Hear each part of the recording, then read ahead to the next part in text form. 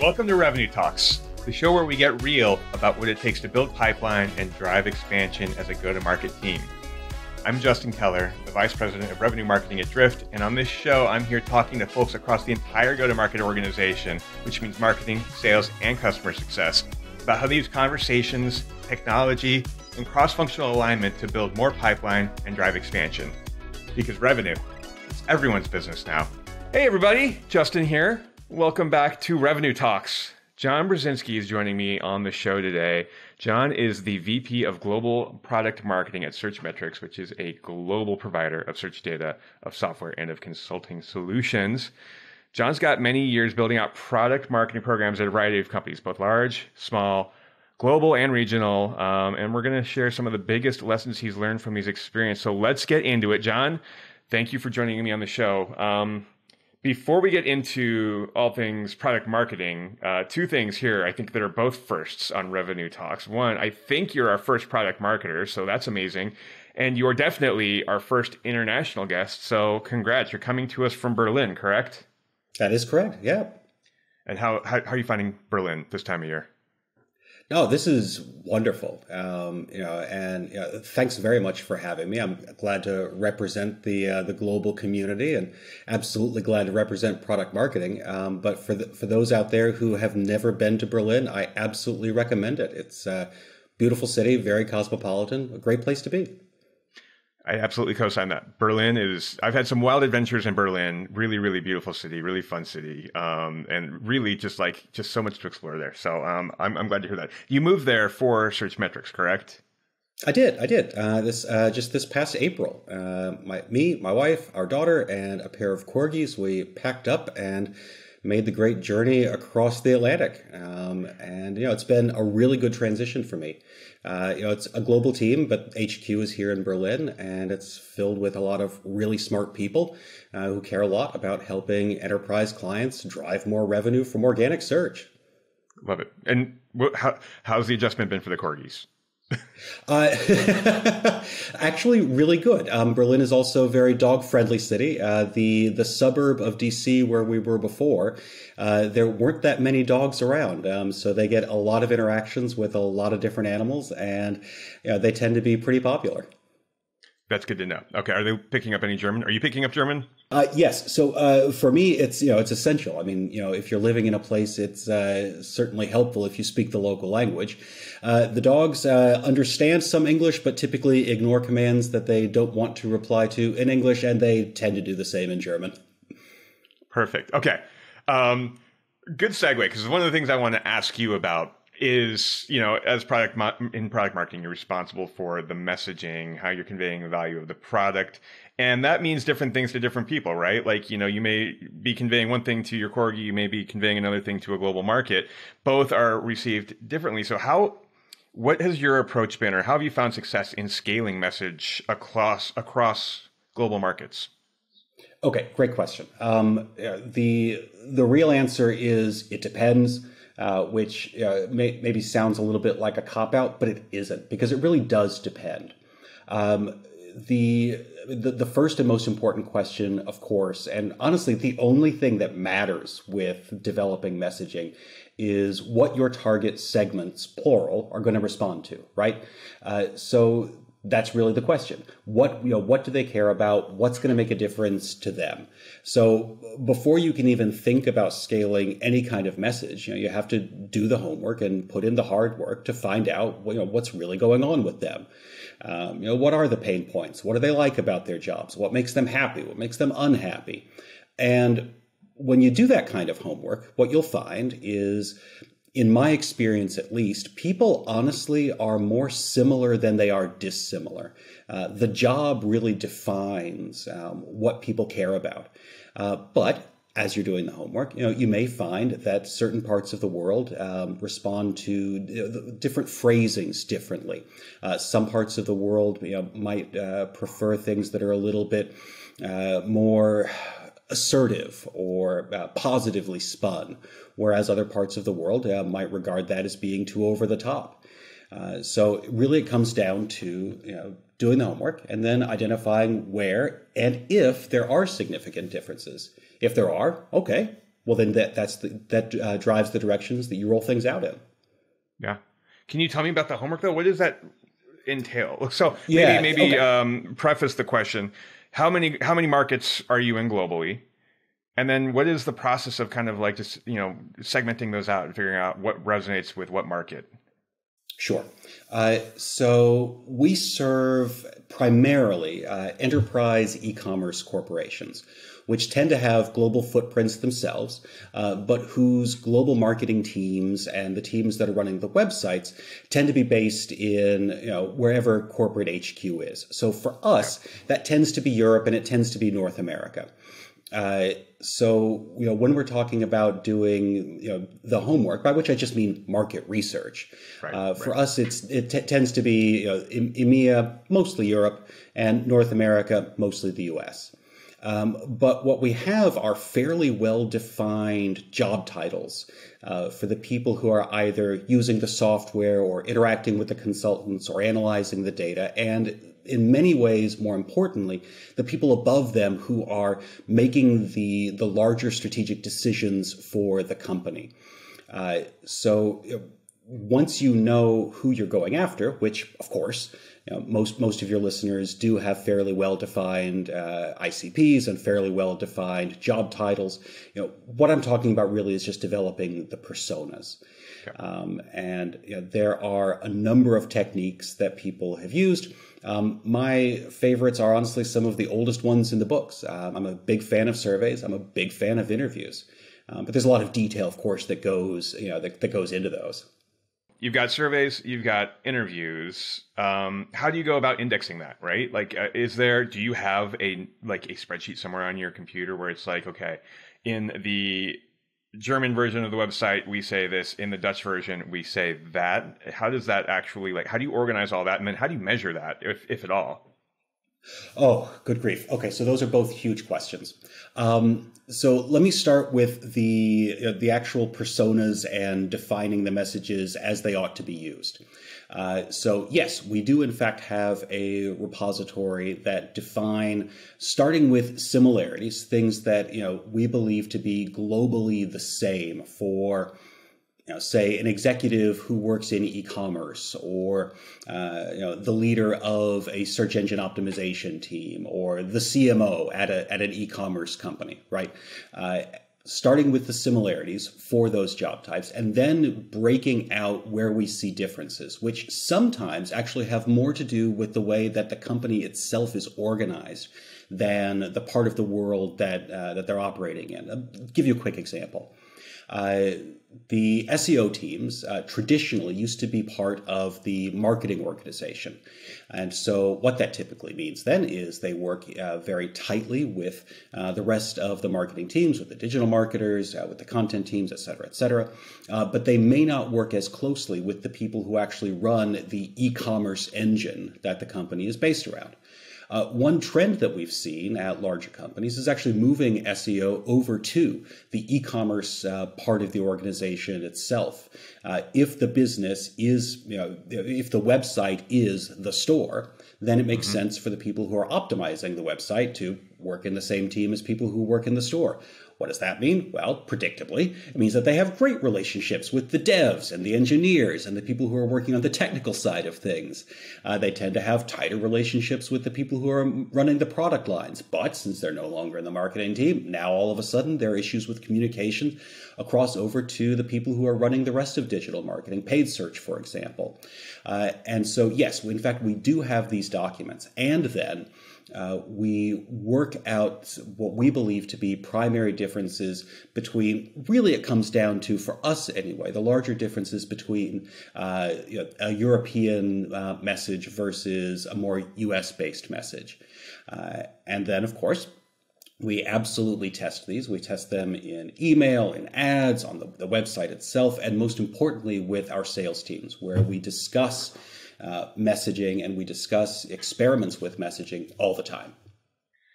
Okay, John, this is the closest to an, a CIA agent, a marketer I've ever talked to has been. I feel like you are kind of like you're you're you're just out there collecting information on all these different populations, centralizing it, giving it to your agents, um, which is very cool. Do you ever feel like that? Do you ever feel like you're kind of like you know, you, you should wear a, a, trench coat and like a, you know, a, a, a hat pulled down. no, okay. So, so that's a fair question. But, but I mean, the really cool thing is, for me, for me, so what, what I find to be really personally, professionally rewarding is just you know really understanding your segments right because you know anyone who's do, who's done interviews you, you ask people, what do you like about your job? What do you dislike about your job? And the answers you get tend to be pretty boring. It tends to be stuff that you already know, especially the things about like, what do you dislike about your job? Um, but if you can get under someone's you know, if you can get under their armor, if you can get through the kind of professional words that they give you during an interview, you know, get past the stuff that they're saying because they think that's what you want to hear, that's when things get really interesting. And I love this stuff. And in particular, I like it uh, working at this company right now because what we're doing is cool. Um, uh, people think about SEO, uh, if, if they think about it at all, um, they think about it the way that it used to be 10 years ago, when yeah. honestly, a lot of it was just tricking the search engines yep. into showing your page, right?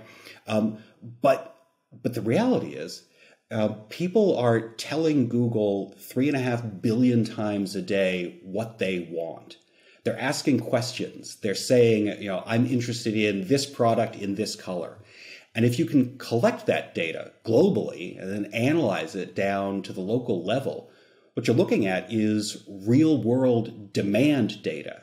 Yeah. And communicating this, you know, this this purest form of demand data out to the head of SEO, the head of digital marketing, the person who's actually making um, product decisions, the person who's running the um, the online store who has to decide what are we gonna what are we gonna be featuring this month or that month, and you know especially the CMO who. If the CMO is not currently in a country that's in a recession, they're in a country that's entering a recession. Yep. Communicating that that stuff in a way that really makes sense to them, I mean that's that's genuinely genuinely rewarding to me. That is very cool. And I'm glad I'm so glad to hear that for you. Let's um for the people listening, can you give a little bit of market research 101? So when you talk about like getting under their skin or kind of getting past what what they want you to hear, what are some of the techniques you you use to to normalize that and to get more revealing information out of them? I'm going to work with with a couple of assumptions here. Uh, one is that uh, the person doing this research has some ideas of you know what these people are already like, um, but that you have some really big questions. And this is maybe especially useful for any of your listeners who are targeting a market that's maybe going through some kind of transition, maybe especially given the current economic climate where you know we're coming out of the world of nonstop change in the pandemic years um, it's still kind of pandemic years, but not really. But now we're looking at global recession, so things are in flux. Um, I'm going to go back to the, my two favorite techniques of interviews and uh, and surveys. Um, also, just kind of you know, set set the stage in case any of the listeners you know haven't done this in a while. R- quick reminder that interviews are good for for going deep. Interviews are good for your qualitative information. Whereas the surveys, this is your quantitative. This is where you're going to uh, you know, get answers to hypotheses with statistical significance. Um, okay, so, so let's start out with, with the interviews. Um, if you're building a messaging stack, you really need to understand just some basic things about a given persona.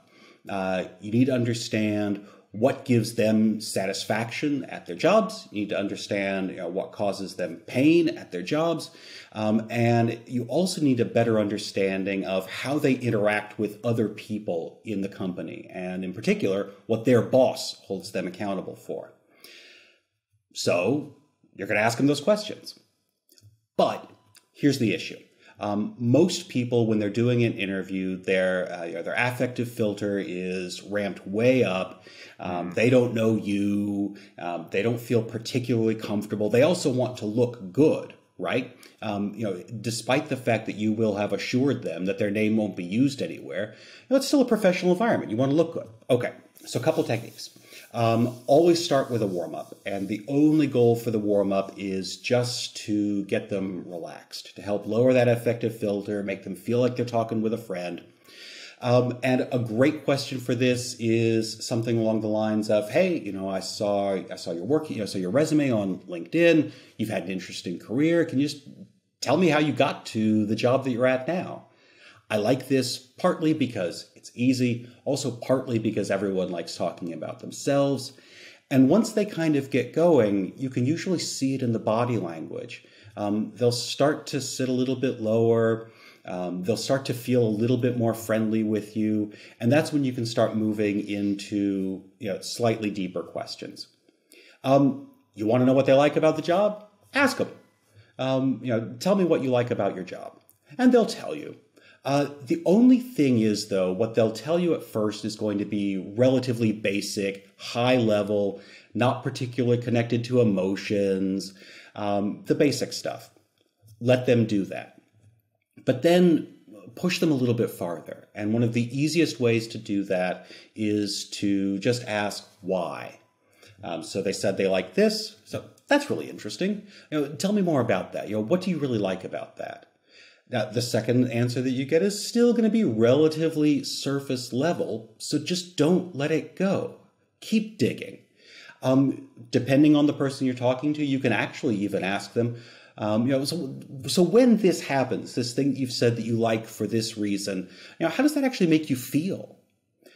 Once they get used to the idea that you're looking for you know more emotional, uh, you know, deeper things, and after the first time that they say it, they'll start to feel more comfortable. Uh, then, of course, you need to you know tell them, all right, I've asked you what you like. Then, you know, clearly, I'm going to ask what you don't like. Uh, this one is honestly even harder. And I find this is especially harder for people based in the US, where no one wants to suggest that they have problems at work.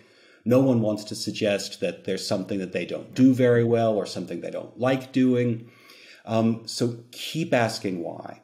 And another thing that you can do is let them keep talking. And if they stop talking, been inserting exactly. a pause there, yep. inserting a pause. people get uncomfortable and they want to fill it. Yep. Let them, let them give them, give them a little bit of silence, right? Yep. Um, ah, here, here's another one though. Um, and I'm actually going to give this one verbatim. So we'll pretend that I'm interviewing okay. you. Um, so, okay, cool. Thanks for all that. Um, uh, so an expression that I've heard recently actually is called the uh, the Sunday scaries. Have Have you heard of that? Um, it's yeah, yeah, yeah. It's it's the okay. So Sunday afternoon, you know, people start to get a little bit anxious about what's coming the next Monday. Now, I, I'm not suggesting that anything at your job could actually, you know, cause you anxiety. Um, but if it did, uh, what would those things be? And what I like about that is first it sets it up in something a little bit lighthearted, and then it's also not saying that anything actually makes you anxious. Yeah. Um, but you know, hypothetically speaking, one more. Um, and I like saving this towards the end um, because it requires a little bit more analysis and it also requires um, the person to be really relaxed. Um, one thing that I like to understand is the way that people interact with other job functions, right? Hmm.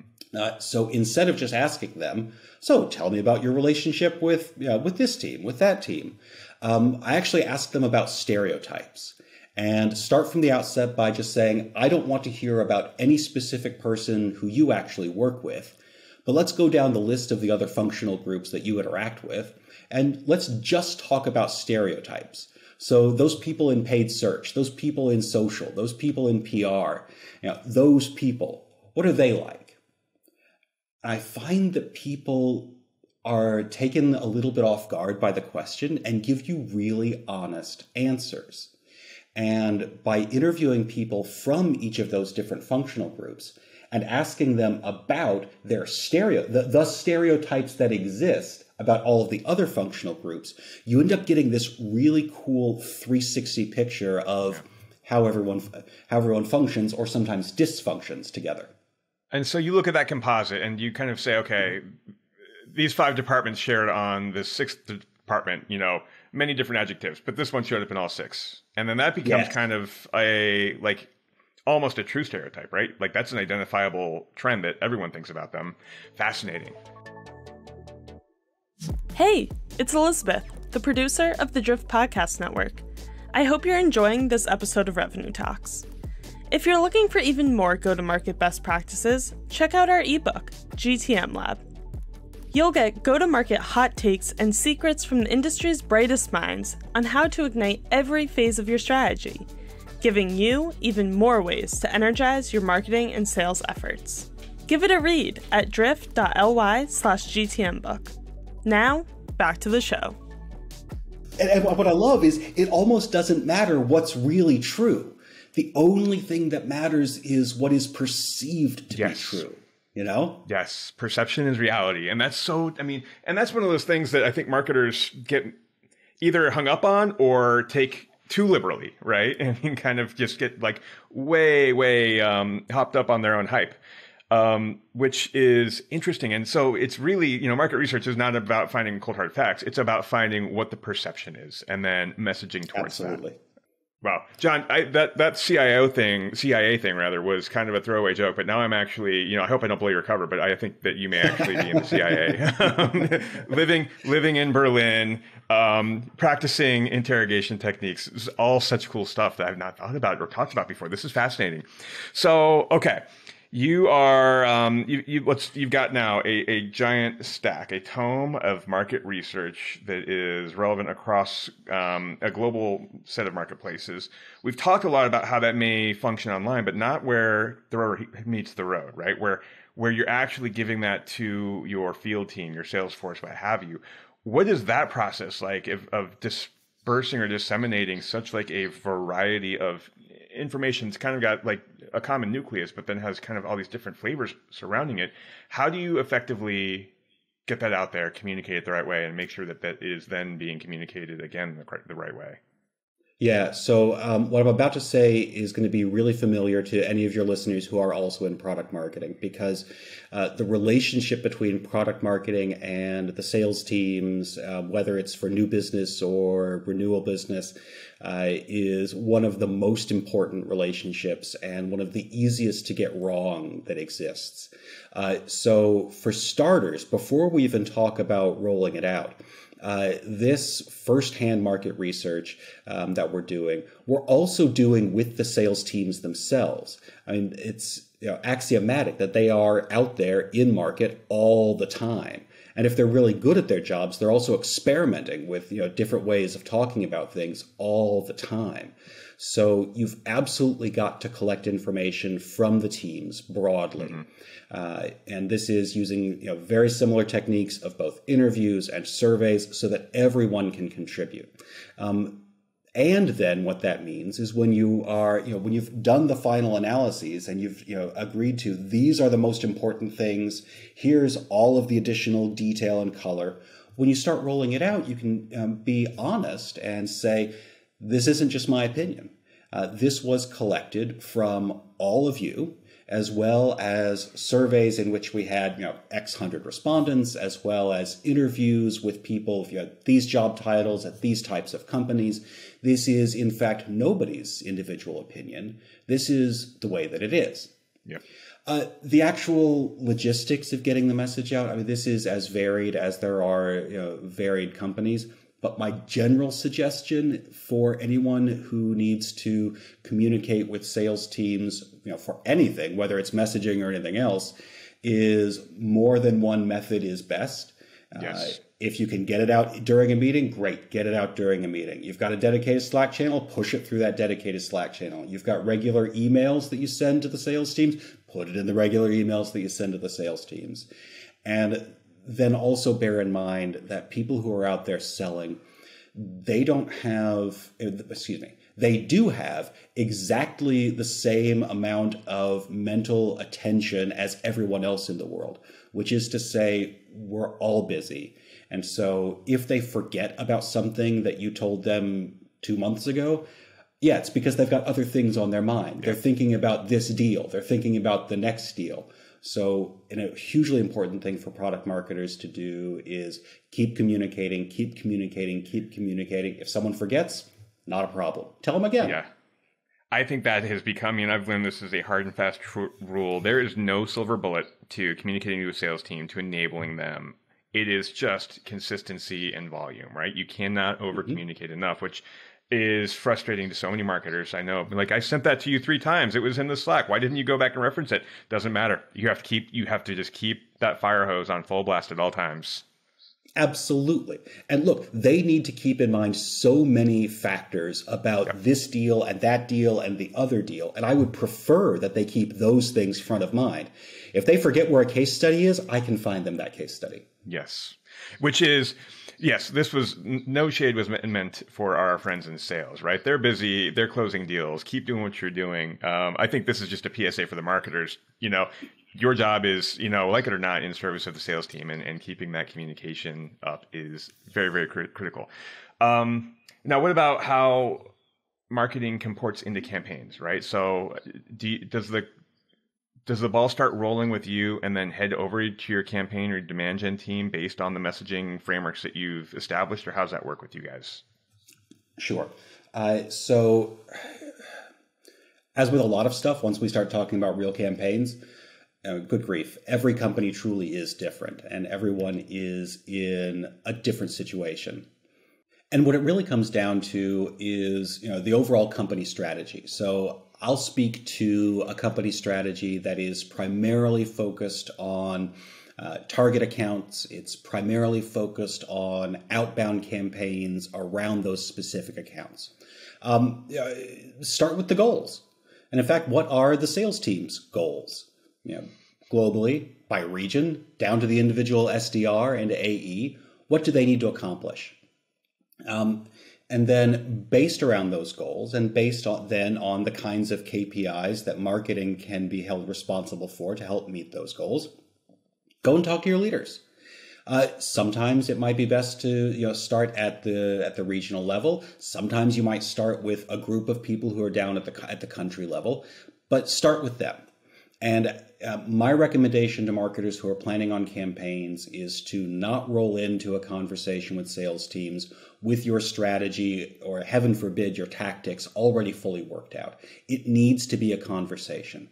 You've probably already got some pretty good ideas, but still let it be a conversation because the more that you work with your sales teams, the more your sales teams will work with you. And ultimately that's the goal is for sales and marketing to be working together because at the end of the day all that we're doing is driving more revenue for the company. So start with conversations. Um, and then for each set each step along the way whether it's goals or strategies or down to tactics get sign off get it in writing. So that way the next level of you know, brainstorming or planning is just that much easier um, I do also like to be able to have conversations with some of the you know, some of the better AEs, especially if there's a, a head of, of account executives.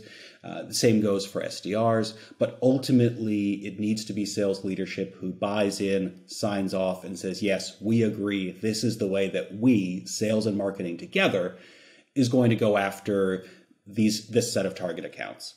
Yeah, yeah, I love that. Like, make it it's a partnership at the outset, but then it's a contract at the end, right? That's and that's I found that no matter what it is, right? Like uh, account selection, messaging, you know, who's going to do what is that's the way to do it, right? Um, gosh, John, this has been an education, sales and marketing alignment, like uh, market research, how to scale this out. I am, mind is blown.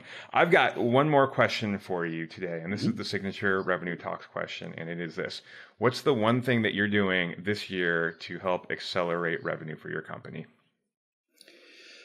Sure. So for us right now, it is um, moving towards a better framework for not marketing qualified leads, um, but marketing qualified accounts.